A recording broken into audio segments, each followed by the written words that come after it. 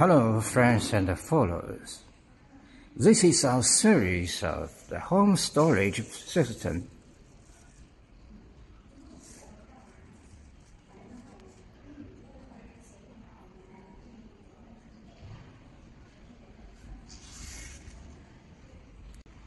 Yeah, this model is 16 cable edge. Here with interface can operation, the brake, switch, and communication can RS 485, RS 485 for A5B reset says and the frame look is very stronger. Look the frame very stronger. The handle also very stronger. And totally look is very nice. Okay let's let's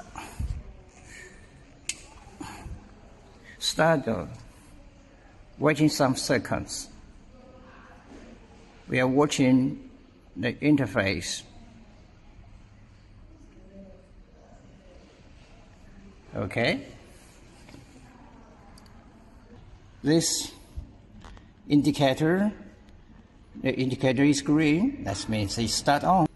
It's digital digital sure the value is 51 percent.